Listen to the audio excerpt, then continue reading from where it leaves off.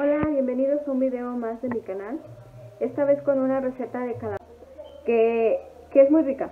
Es muy rica, eh, no, es, no es una elaboración fácil de hacer, es una elaboración tardada, siempre toma creo que unas 12 horas para poderlo tener, pero el resultado vale la pena. Entonces, sin más ni más, solo decirles que pues que me sigan apoyando, suscribiéndose a mi canal de YouTube, uh, siguiéndome la página de Facebook que acabo de abrir, de también de Luluna Blog. Eh, en esta página van a encontrar mis todos los videos. Activen la campanita así cuando se suscriban para que les lleguen las notificaciones y puedan seguir la, la, las series que estamos haciendo para nuestro festejo de Thanksgiving.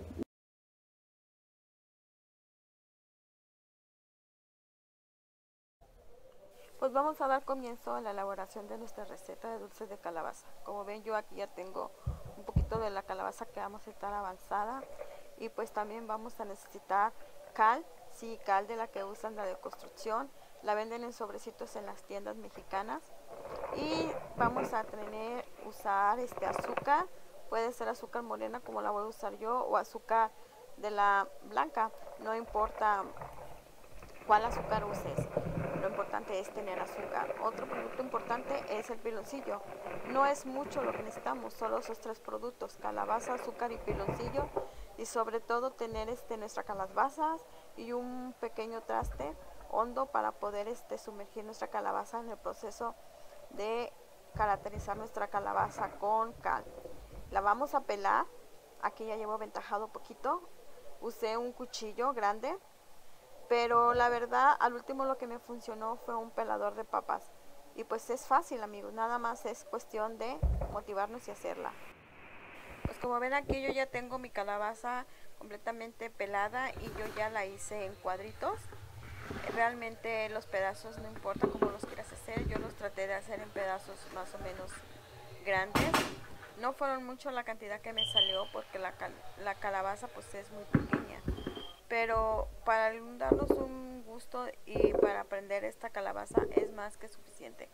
Como ven, el siguiente paso a seguir es tener nuestro bol con un poco de agua, lo suficiente que pueda cubrir nuestras calabazas pecadas y vamos a agregar nuestra cal al bol, todo el paquetito, porque entre más cal tenga el, el efecto que queremos que agarre va a ser mejor. Vamos a menearla muy muy bien completamente hasta que toda esa cal quede, quede completamente disuelta. Yo en este caso me retiré un poco porque el olor de la cal es muy fuerte, entonces sí tengan que tener cuidado. Pueden agregarla completamente como lo hice yo o tengan la precaución de agregarla poco a poco.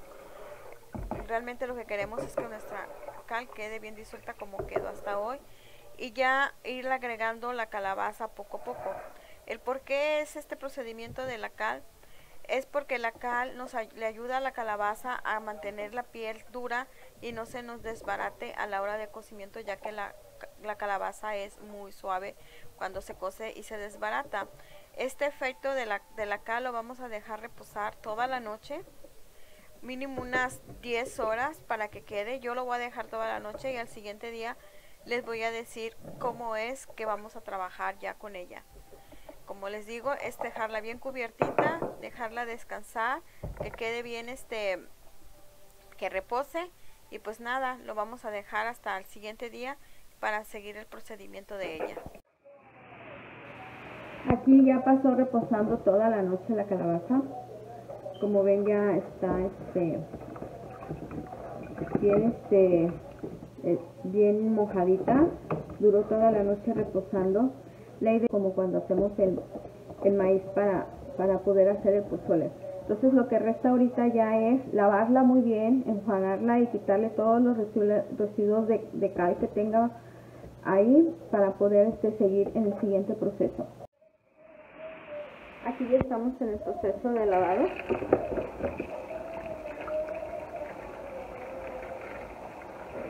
Como les digo es, quitar todos los residuos de calabaza de cal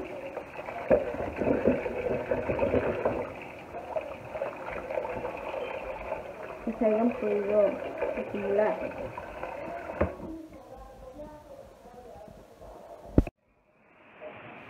el siguiente proceso ya después de lavada y quitar todo, todos los residuos de calabaza de alrededor, yo utilizo estos palillos que son de bambú y que son este, los usa uno mucho en la cocina para hacer como los brochetas de camarón o de esto. También pueden usar un tenedor si gustan.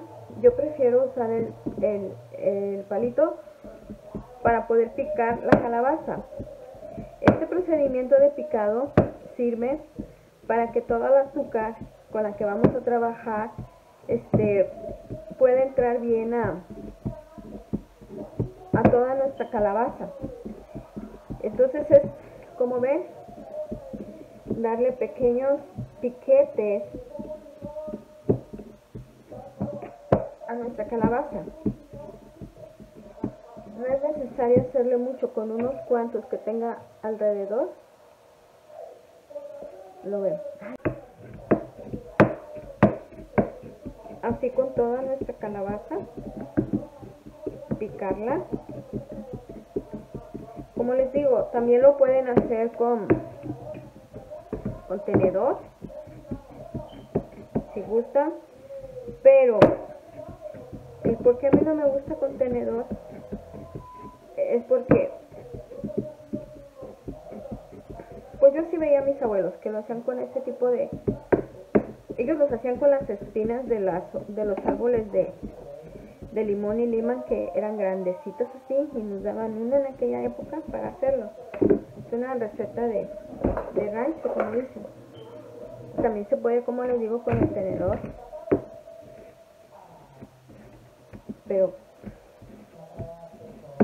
a mí no me gusta porque el piquete queda muy junto y a la hora de que se cose, no sé, y luego aparte es más duro de entrar en la, en la, en la piel de la calabaza, más ahora que ya está fermentado con acá.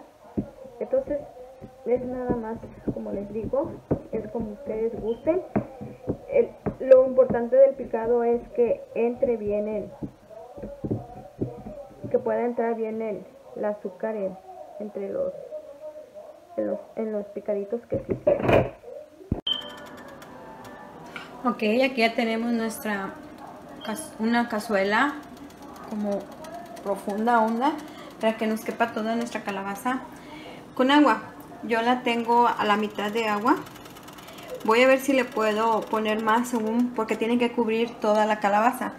Y aquí al lado tengo el piloncillo la azúcar morena que les voy a poner. Entre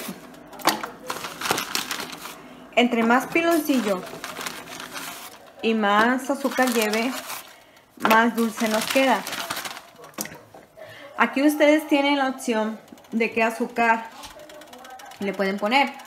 Si le ponen azúcar morena, su calabaza les va a quedar como oscura. Si le ponen azúcar blanca gratinada, les va a quedar más clara. Eso ya depende del gusto del... Ahora poder decir cómo les gustaría que se viera más la calabaza. Yo me gusta mucho usar la azúcar morena.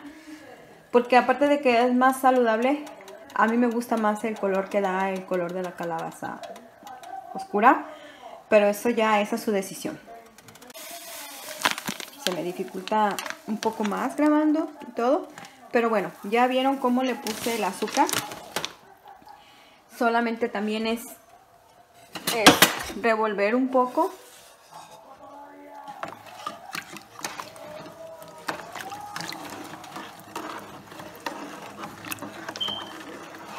hasta que todo cuando la, el agua hirve, el piloncillo se deshace. Y entonces ahí es cuando nosotros ya podemos introducir nuestras calabazas bien. Aquí podemos ver que nuestra agua ya empieza a hervir, nuestro dulce de piloncillo con azúcar. casi ya se está deshaciendo. En el azúcar yo usé casi medio kilo de la, de la bolsita que tenía de, la, de azúcar. Y ya lo probé y esto está delicioso. Aquí lo que vamos a hacer es ya poner nuestros dulces picaditos y ya solamente esperar esperar a que a que esto se reseque